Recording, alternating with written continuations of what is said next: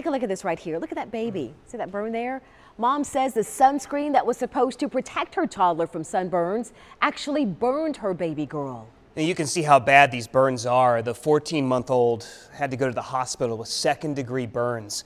The mom says she was using Banana Boat broad spectrum SPF 50 sunscreen in an aerosol container. The company says the sunscreen is safe.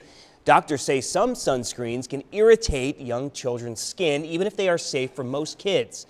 They suggest using titanium dioxide or zinc oxide sunscreen on children. Now, the irony here the mom says the baby girl was the only one wearing sunscreen, and she was the only one who got burned. Hmm.